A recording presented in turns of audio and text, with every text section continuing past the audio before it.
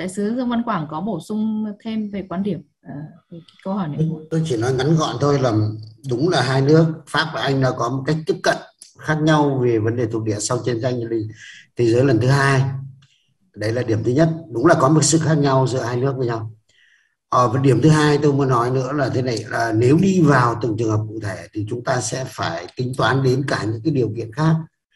Uh, của, của của từng nước một mà nghĩa là của của từng nước thuộc địa người đây thuộc địa cũ của hai cái nước này để chúng ta nhìn nhận vấn đề. À, ví dụ như là câu chuyện của Maroc nó khác. Ờ, câu chuyện của Algeria tại sao chiến tranh nó nổ ra? Tại vì nếu so sánh cái Algeria với cái Maroc là hai cái nước nó gần nhau thôi thì chúng ta sẽ thấy được là cái cái bối cảnh của Algeria hoàn toàn nó khác Maroc. Cho nên là là là cuộc chiến tranh nó nổ ra. Nhưng mà phải nói thật một câu là thế này là Pháp nó có rất nhiều những cái Pháp có nhiều cái quan điểm lỗi thời về thuộc địa sau chiến tranh thế giới lần thứ hai.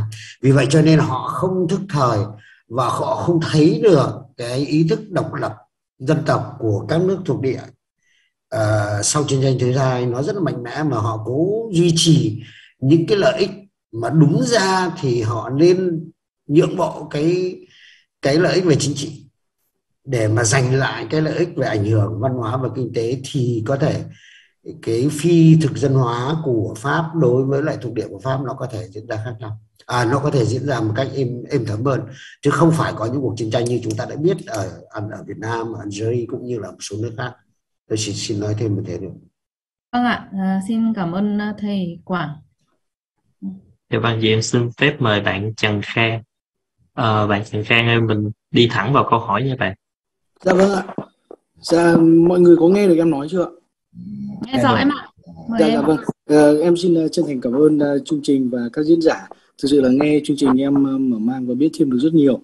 Từ đây thì em muốn um, các diễn giả giúp em uh, khai thông giúp em một cái ý, tức là từ nãy giờ mình đã phân tích ở cái phía là khi mà từ từ Việt Nam đi sang Pháp và tức là từ phía Việt Nam hướng sang Pháp thì mình đã phân tích khá là kỹ thì ở đây em muốn uh, trao đổi một ý nhỏ tức là muốn muốn hỏi một cái ý nhỏ ở đây đó là cái tình tiết mà uh, trong cái hồi ký của cụ Bảo Đại cũng có nhắc đến cái tình tiết rằng cụ Hồ có nhắc đến việc đó là nhường lại toàn bộ cái quyền quyền hạn cho cụ Bảo Đại. Đó với với một cái câu nói lúc đó đó là thế giới thấy tôi quá đỏ quá đỏ. Thế thì ở đây là em muốn um, nhìn cái góc độ cái cơ hội hòa bình này trong cái vai cái vấn đề là nội bộ của mình lúc đó liệu liệu rằng cái cơ hội hòa bình nó có lớn hơn nếu như mà cụ hồ không quá đỏ như cụ ấy nói? Hay là ít ra là người ta nhìn rõ được cụ hồ rằng là cụ hồ là một người dân tộc hay là một người không quá đỏ?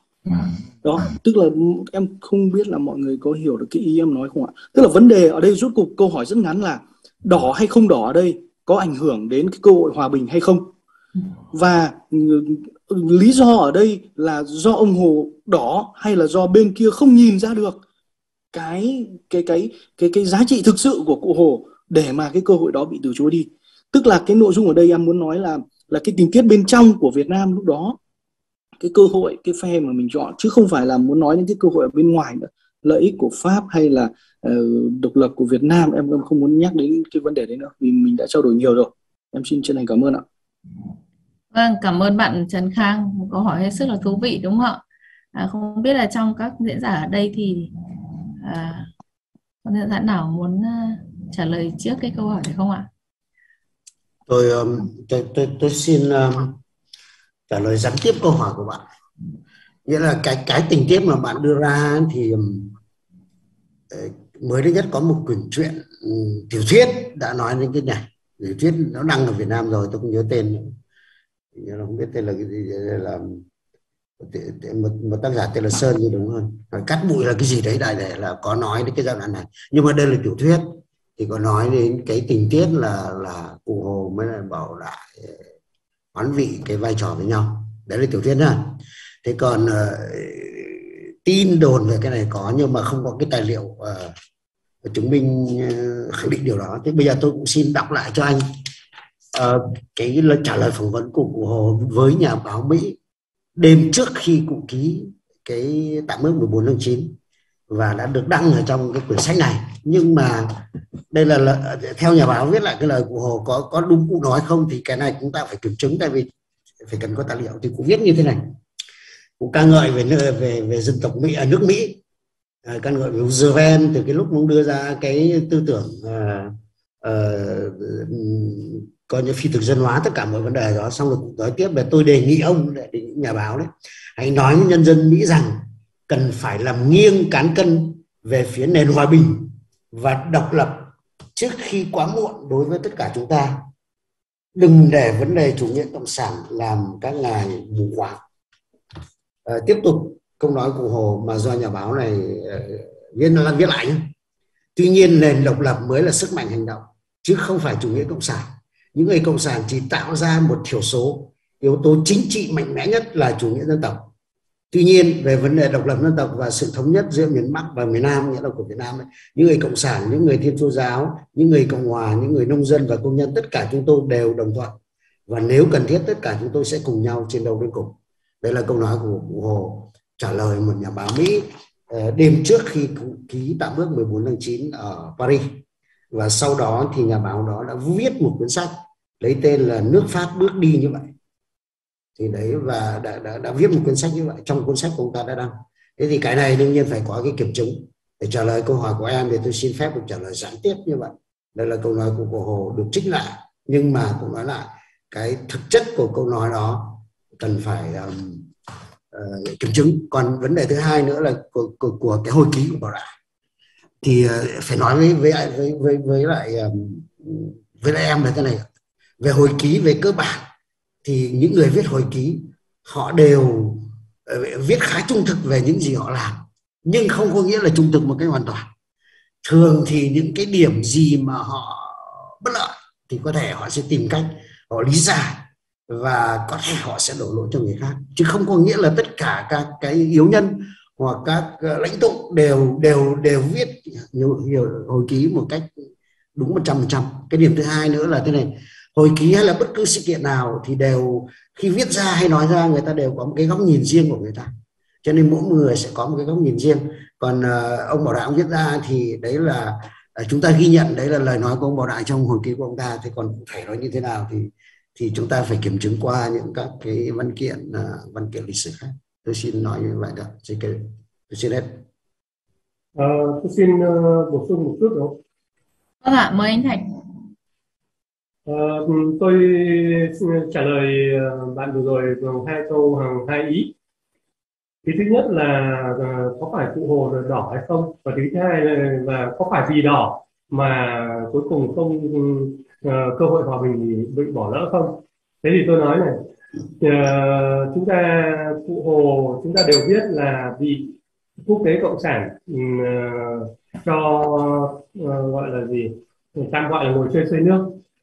Đúng không? Không dùng không sử dụng. Bởi vì nghĩ rằng Stalin nghi nghi ờ, ngờ cụ là người dân tộc chủ nghĩa. Cái này thì tôi nghĩ là là cũng là khá rõ rồi. Nên ra là là nếu mà gọi là đỏ thì cái đấy để mà nói rằng là cụ đỏ đến đâu. Tôi tôi nghĩ rằng uh, cụ trước tiên là người dân tộc chủ nghĩa và khi mà cụ dân tộc chủ nghĩa thì cụ cũng nói rồi uh, cụ, cụ tìm thấy uh, ờ, chủ nghĩa cộng sản đấy là cái công cụ để mà uh, giành độc lập cho đất nước. Đấy nên chính vì thế nên cái cái dân tộc nó cao hơn cái cộng sản rất nhiều. Cộng sản chỉ là cái cái công cụ để cụ thực hiện cái dân tộc của mình. Thế nên uh, đấy là một cái mà chúng ta tôi nghĩ là uh, đến giờ này có lẽ là uh, đại đa số là là có thể thống nhất nhau như vậy còn cái ý thứ hai là liệu là uh, như bảo đại nói vì tôi cũng nói cả bảo đại là uh, vì cụ đỏ nên ra là thôi tôi nhường cho ông uh, nhường cho bảo đại. Đấy thì nếu như mà nhường thì ấy đi. Thì tôi tôi nghĩ như này tôi nghĩ thứ nhất đấy là mọi cái câu chuyện lịch sử diễn ra nó không thể chỉ từ một phía. Phía bên kia nhìn nhận như thế nào rất quan trọng. Phía pháp nhìn nhận cụ như thế nào phía pháp nhìn nhận đấy chúng ta trả lời câu hỏi từ trước. Trước cụ không phải là đỏ như người ta nghĩ. Thế nhưng mà phía pháp họ cũng có chấp nhận đâu. Hay là ngay cả chiến tranh sau này cũng thế thôi cuộc kháng chiến chống mỹ. Người ta cũng nghĩ rằng là theo cái domino uh, khi mà uh, uh, nếu như mà mà pháp mà ừ, mỹ phải nhảy vào vì sao? Nếu như mà uh, việt nam dân chủ cộng hòa mà Ờ, thống nhất được ờ, đất nước vào năm năm tư rồi trong tổng tuyển cử. Thì lúc đấy domino sẽ đông nam á sẽ lại ờ, thế này thế kia. Và chính vì thế người ta nhìn nhìn như vậy và người ta uh, tiếp tục cuộc chiến và chúng ta phải tiếp tục uh, cuộc chiến tranh cuộc kháng chiến lần nữa là kháng chiến chống mỹ để mà giành lại độc lập và để mà cuối cùng chúng ta mới thực sự là độc lập và thống nhất. Thế thì ở đây tôi kể cái ý thứ hai là chúng ta không phải là cái nhận thức ở phía bên kia cũng là một nửa câu chuyện. Không phải là vì là cụ đỏ hay cụ không đỏ nữa mà cụ có không đỏ đi mà người ta nhận thức khác thì cũng không giải quyết được vấn đề.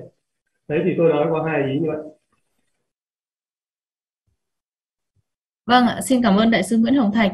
À, không biết là à, anh Hà và đại sứ Thiệp có bổ sung một chút gì về cái câu hỏi của bạn? Khang không? Tôi chỉ thêm thêm một cái thông tin rất ngắn thôi để nói rằng là cái lúc uh, diễn ra cuộc đàm phán giữa Việt Minh hay là Việt Nam Dân Chủ Cộng Hòa với Pháp ấy, thì chúng ta vừa mới kết thúc cuộc chiến thứ hai và đang bước vào cuộc chiến tranh lạnh. Thì cái bối cảnh đấy nó ảnh hưởng rất nhiều tới cuộc đàm phán.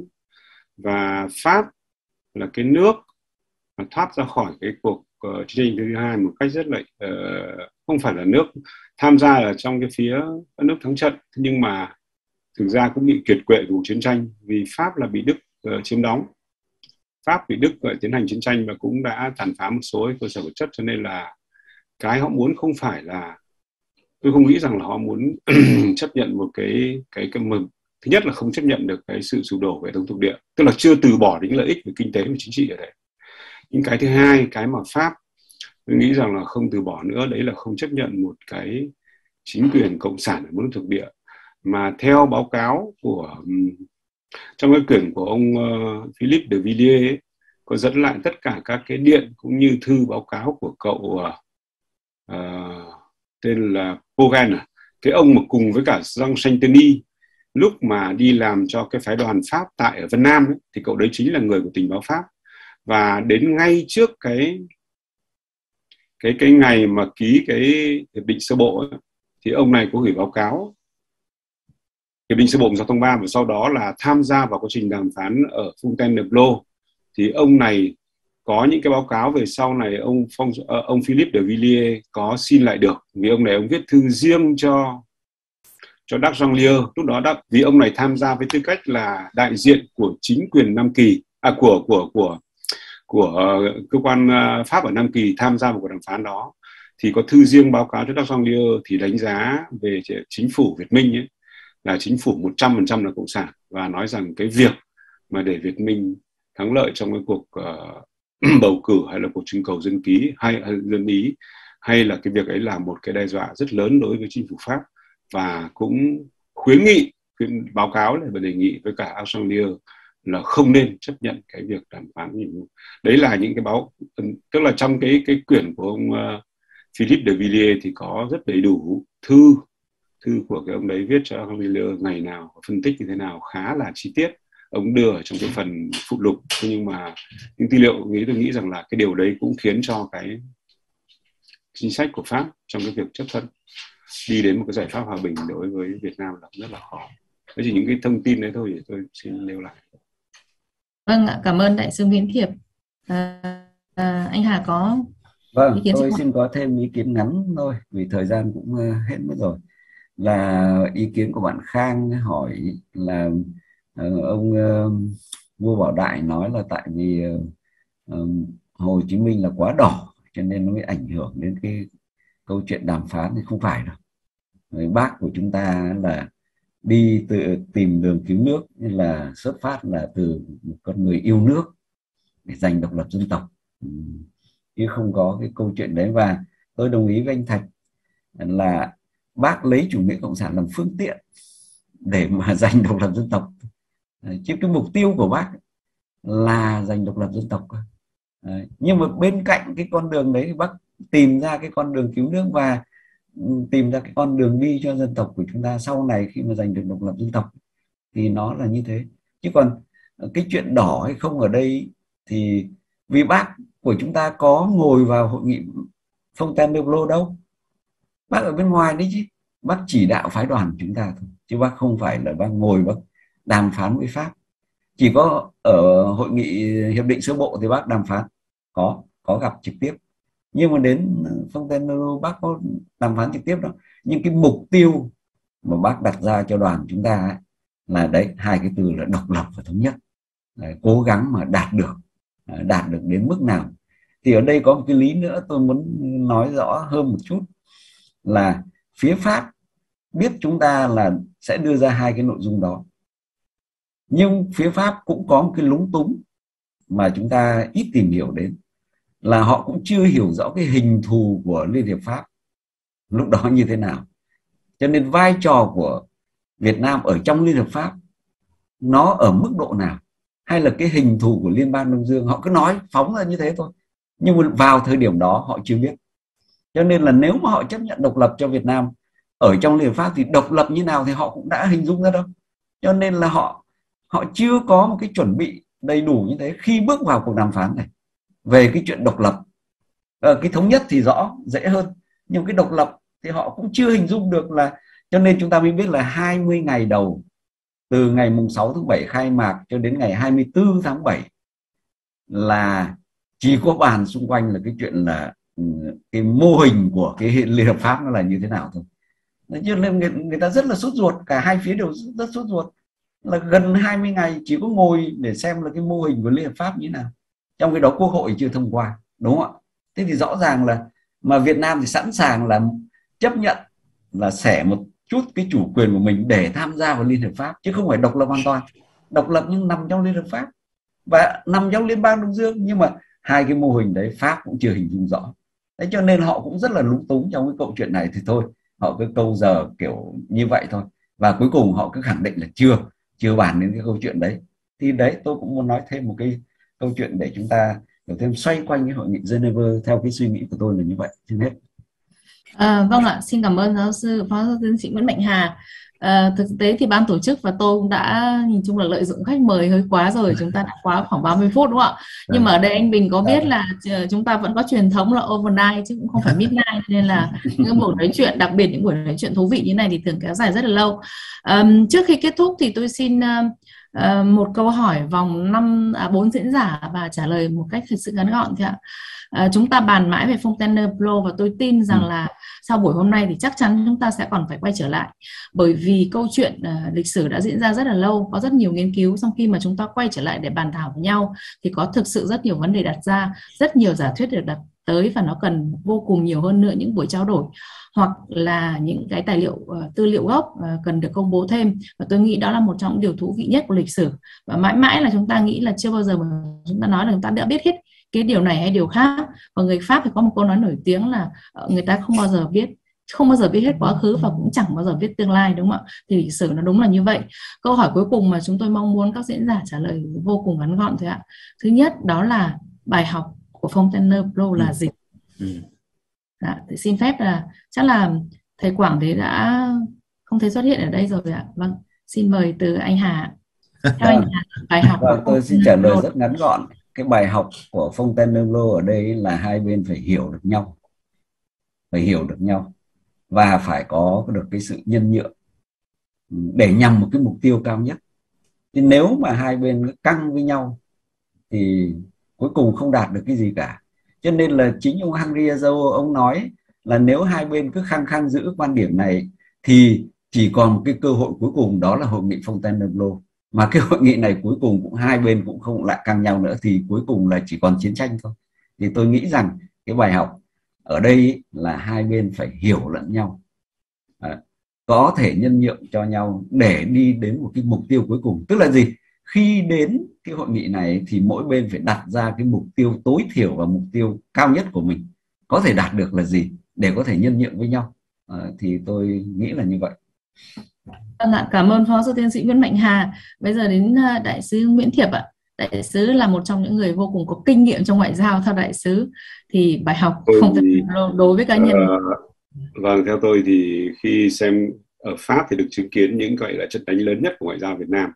Có lẽ bắt đầu từ cái cuộc đàm phán năm 46 đó, xong sau đó cũng uh, Pháp cũng gián tiếp tham gia cuộc đàm phán ở Geneva.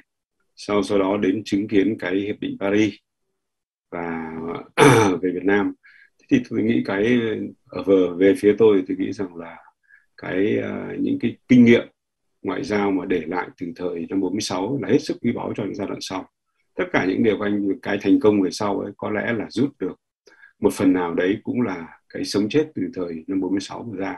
Tức là cuộc đàm phán không thể là do cái cái cái cái yêu cầu cái nguyện vọng của chúng ta là rất lớn là để tiến tới độc lập hoàn toàn thì không thể nào đi ngay đến được mà phải qua rất nhiều chặng đường và cách đàm phán cũng không thể là diễn ra ngay tại là phải đưa cái bàn đàm phán đó đến trong lòng chính giới và dư luận ở cái nước sở tại và kể cả trong cuộc chiến chống Mỹ chính nhờ cái sự vận động sự ủng hộ của cái, cái, các cái nhân dân nhân dân thế giới, của các đảng cánh tả, của phong trào chống chiến tranh và chúng ta tranh thủ được sự ủng hộ.